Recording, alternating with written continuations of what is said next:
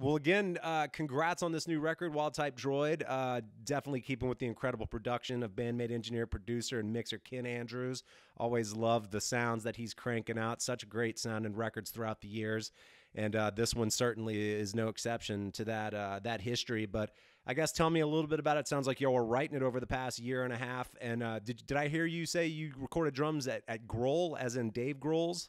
Yeah, technically like we started writing kind of at the height of the pandemic back in august of last year. We um, rented out uh, uh, one of like the local rehearsal spaces.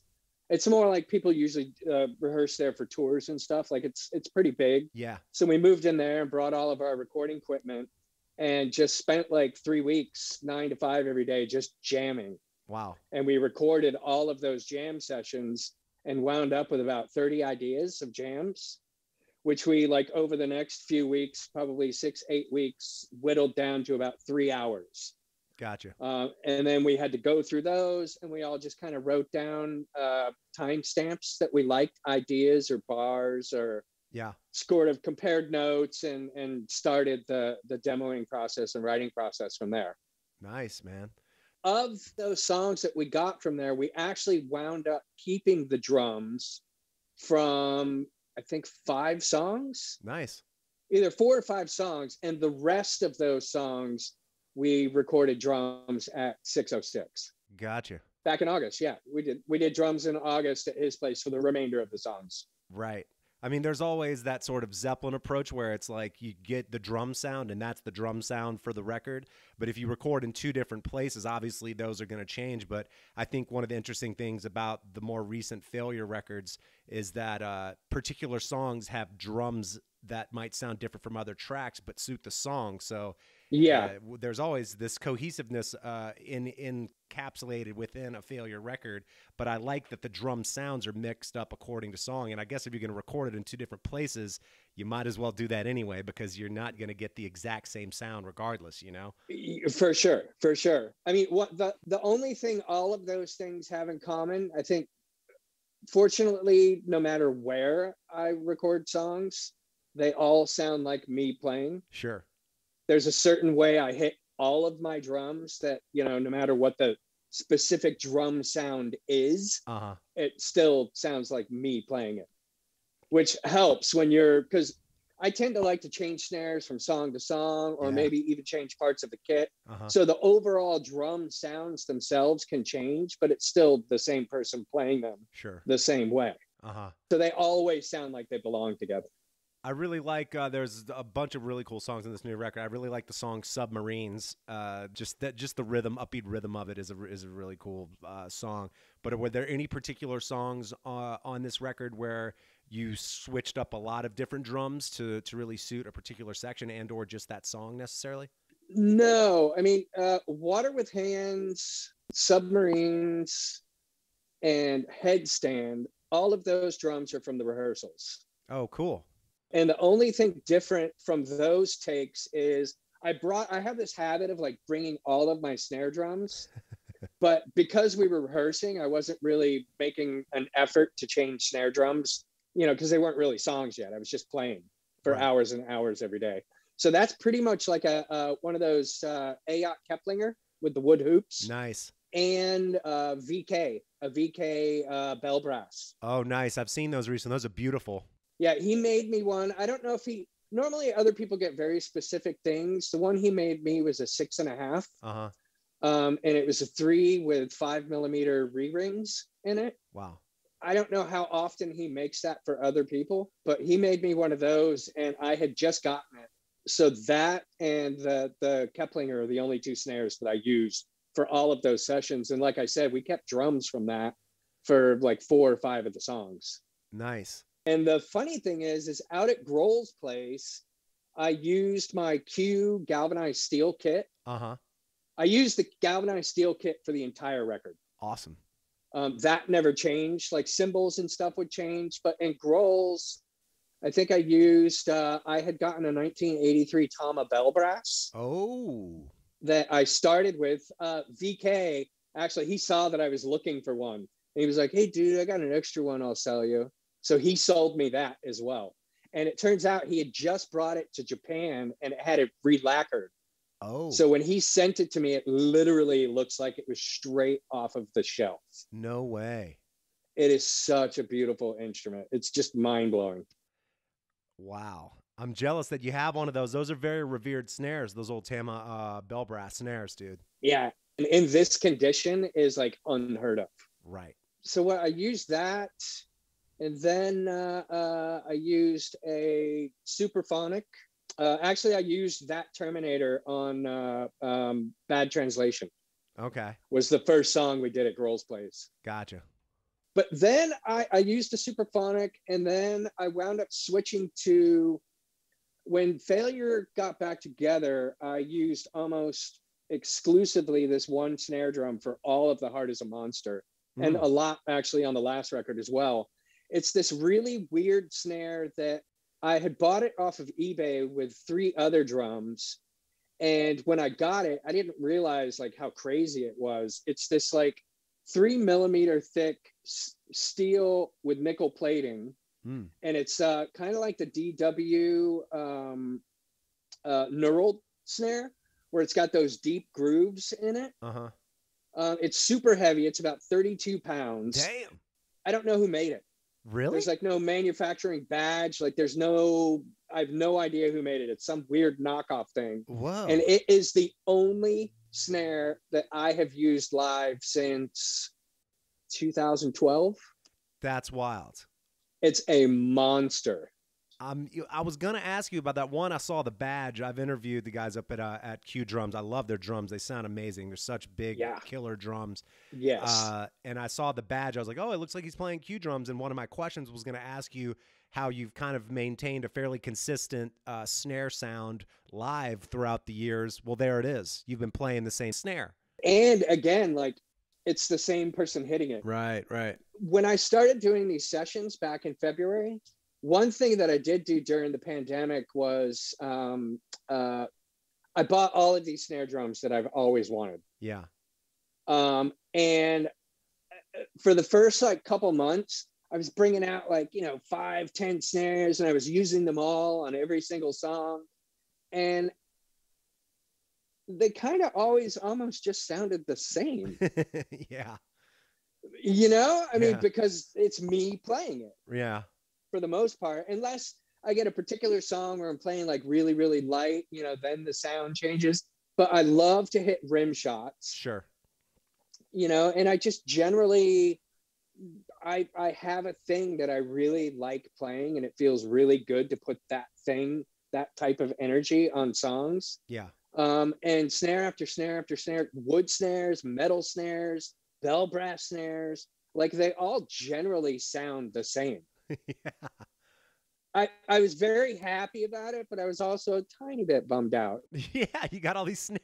because you know I just spent like 25 grand on you know snare drums and they're like in every closet and in the garage. Like I don't have any space left to store anything else. I just started using actually the Q drums in 2019 Okay. uh, for on the last record. mm-hmm. Um, but before that, I mean, I had exclusively drum wise always just used Gretsch. Yeah. I endorse I endorse Gretsch. Right. and all the previous tours, like I would always play Gretsch drums. Yeah. Yeah. Um, but Jeremy got me. I went out and visited one of his places, and I just like to switch it up mainly for tours. Uh huh. Um, and I really love the aesthetic of those galvanized drums. Oh, they're beautiful. so I went out to his shop and played one, and they sound ridiculous. They're badass.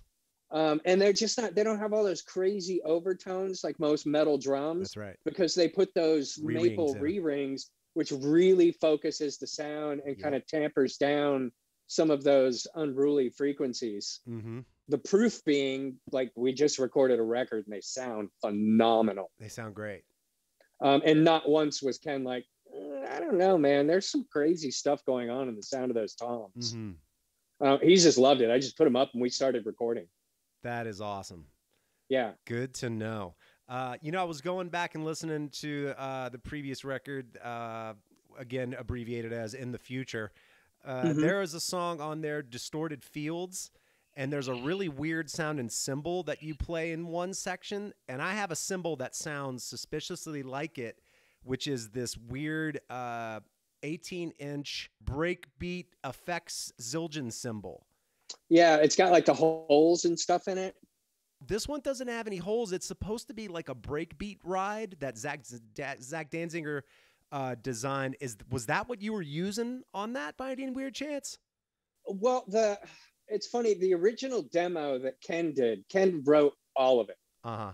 And he had this insane program drum part that I like worked on and worked on and then kind of gave up on it. And you know sat around and was like am i being lazy? Am i not just pushing myself? Can this be played and i'm sort of giving up too soon? Mm-hmm. uh, and i actually sent it to like dave Elitch and a couple other drum friends and they were like yeah i mean you know technically you could play it but it wouldn't sound cool. Like it's just doesn't have any movement uh-huh. and it's so like just polyrhythmic and stiff and you know like there's no wavering either side to make the beat actually move. Mm-hmm. everything has to be played dead on like a drum machine right. in order to be able to play what he programmed. Yeah.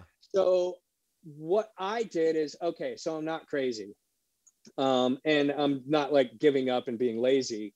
So how can i take because this has to stay. Like it's such an integral part of the way everything in the song was glued together was this drum beat. Mm-hmm.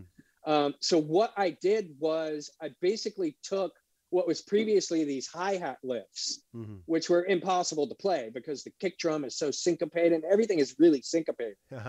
um, so I just took them and I put them on this effect cymbal that I borrowed from SIR, mm. like one of those Meinl effect cymbals with holes in it. Uh-huh. Um, that's what that is. And then I put it up just above my hi-hat so I could play like this really fast 16th note groove and just play that as the accents without breaking. Oddly enough, you said break beat. Right. So I wouldn't break the beat. Uh huh. Um, I could include that if I set it up really close to the hi hat. Yeah. Um, but that's what that is. Okay. Um, and live, I just wound up using uh, a pad. Oh, gotcha. I can only have a certain number of mics. Mm-hmm uh, because of our stage setup. Like everything is kind of set in stone. Right, I believe it. So I just slowly add more electronics and just plug them into my SPDS. Yep. So I I just set up a pad that I used for you know probably like two or three other songs. Nice. That I could just interchange the sounds from song to song. Right on. Yeah, it's weird. I'll try to record that breakbeat ride that I have. It sounds very similar. It's super, super dry, almost awkward to play. And I've never actually recorded it to hear how it sounds coming through mics. But when I heard that, I was like, it's kind of uncanny how this, to my ear, sounds like that one that I have. It's interesting. I'll, I'll take a picture of it and send it to you so you can see which one it was there there's a lot of them and actually that type of sound has become super popular in the drum world over the last like absolutely. you know six or so years. Yeah. Like Anika Nilles mm-hmm. that have you ever seen her online? Just crazy technician. Oh, yeah. she has a lot of those things and uh, uh, Thomas Lang oh yeah. has a lot of those things. Like you're seeing more of the like look at me look at me look at me types like yeah. really incorporating you know just alternative cymbal or even percussive sure. sounds yeah, yeah, in their setups. Yeah. You mentioned the live uh, setup and how it's kind of set in stone. I actually had a question for you about that. The once again, uh, in addition to the the band sounding amazing in recorded format, live as well always sounds just incredible. And I was going to ask you about those translucent circular baffles that you put in front of the cymbals. I didn't know if that was to decrease bleed through the mics or if it was to keep cymbals out of Ken and Greg's ears or both but how cool did they look? they look pretty cool, man. For me, the main purpose of those, because the, the idea of putting some kind of baffling up has been tossed around for years, and I'm always like, no, fuck that. That's yeah. they just it always looks stupid. Right. And you know, the idea of in a three-piece band putting one of the people inside of a box just seems like a disaster to sever like that, that energy. connection. Yeah, for sure, dude. It's this guy, he's out of Texas and he makes them. And I, as soon as I saw them, I was like, well, there we go. That's nice. the solution.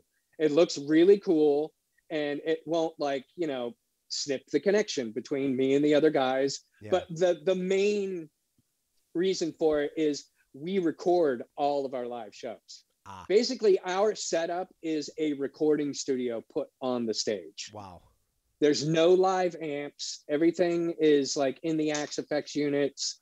Um, like I'm the only thing like emitting sound live. Wow. Um, and even then, like all of I have a dedicated number of live drum mics, Mm. um, and everything else is electronic. Wow. Yeah, no click tracks. Like everything is played in real time, Wow. which is insane because a lot of the things that I have to play on my electronics are like time delayed stuff. Right. So at every given moment, I have to be playing each of those songs in the exact tempo. Yeah. So I kind of cheat a little bit. I've just got one of those little flasher things that I can look down to. Like everything changes. We have everything dialed in. Like Ken hits a pedal in between every song and it moves to uh, all of the sounds um, and the lyrics and everything for the next song. Whoa. And we all run iPads. It's crazy that that's not locked into a click because, wow, you're. Uh, I mean, I appreciate it. it makes it much much another thing that you know uh i personally am just like begrudgingly it's a lot more work and it's a lot more like you really have to be on your game from moment to moment Hundred percent. but it's uh, you know i mean i've been doing it a long time it's like i'm constantly looking for ways that i can be challenged Yeah. and that that definitely is one of the ways. Although that being said we did these last two records. We didn't have any click tracks. We performed, performed everything live. It was great. Everything works the way it is. What would happen if we were to incorporate the technology that i think most people are using where you actually have a track?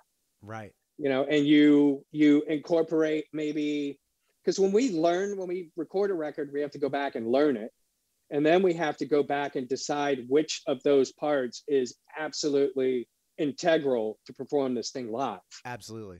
there's a casualty to making the decision of we're not going to use any backing tracks live Mhm. there's a lot of good songs that you know we could be playing if we were to do that so on the on the in the future tour uh, we chose two songs actually from that record where we did it it sounded great it felt great i mean i record all the records with a click track Yeah. so it's not a problem to like push and pull and make it feel like it's a living breathing thing yeah. um, there isn't that problem but the one problem there is is it kind of takes out there's no longer any interplay between the band members and any natural flow to a set Sure. because you're starting and everyone's got to come in hmm and nobody can do anything that isn't supposed to be in there Uh, you know so it, it is definitely restricts um, what you can do like as a live sort of living breathing unit Yeah. but I, I think it enhanced the show because we used it for a very targeted part of the set. hmm Um, you know, and then there's the other hour and a half where we're just like, you know, this crazy loud living, breathing, like, whoa, those Totally. guys play really good together. Absolutely, man.